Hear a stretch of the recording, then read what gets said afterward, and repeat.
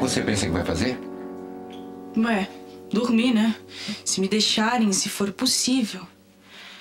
Pai, por favor, saia do quarto. Eu vou tentar escurecer pra tentar dormir. Bota tua roupa outra vez, Doris. Quê? Vista-se, Doris. Vista-se. Coloca de novo a roupa que você veio da rua. Ai, meu Deus. Pai, o que você tá inventando agora? Pra mim, você não voltou ainda, Doris. Você está na rua. Ai, pai.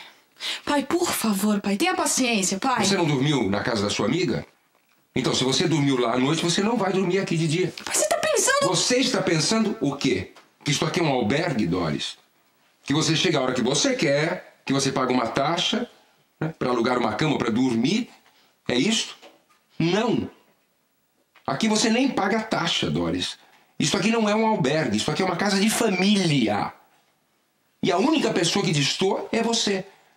E o que, que a gente faz numa situação dessas? Quando nós temos um coral afinado e um dos elementos destoa, desafina e atrapalha toda a apresentação do grupo.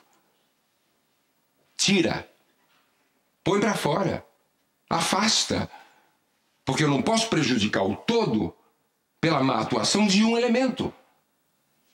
Você tá me pondo pra fora de casa, pai? Eu estou fazendo você entender que esta casa aqui tem regras. E que você vai obedecer, você vai dormir na hora que todos dormirem.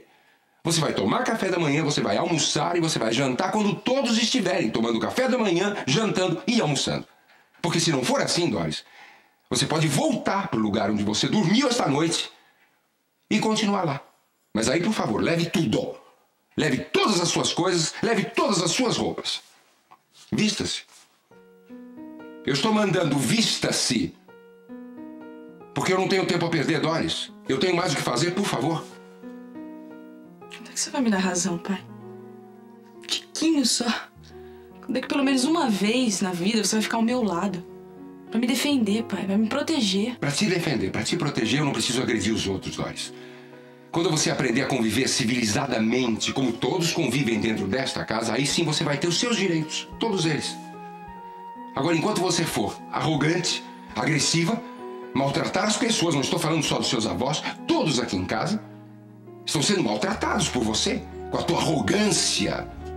Esta arrogância de garota Zona Sul, de pobre metida besta, pobre orgulhosa. Enquanto você agir assim, você vai ser tratada com severidade. Muda, Doris. Muda o teu comportamento. Você tem que se enquadrar dentro da normalidade desta casa, desta família. Porque aí sim você vai ter todo o amor, todo o respeito que todos têm aqui dentro. Posso pegar pelo menos uma calcinha limpa? Eu posso?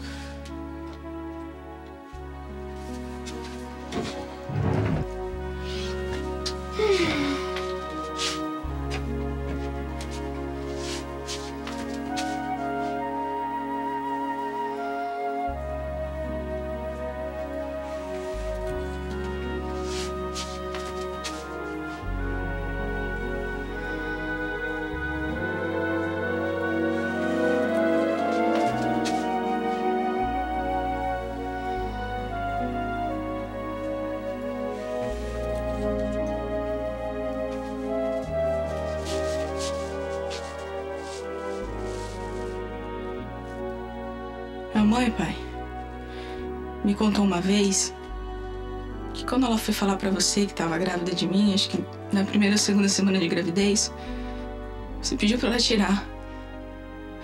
Pra ela fazer um aborto. Mas aí ela insistiu e disse que não ia tirar esse filho. Só eu. Vocês brigaram, ficaram um dia sem se falar, acho que quase um mês. Essa rejeição você tem até hoje por mim, não é? Não queria que eu tivesse nascido. E continuo achando isso até hoje. Por isso que me trata assim. Não queria que eu estivesse viva.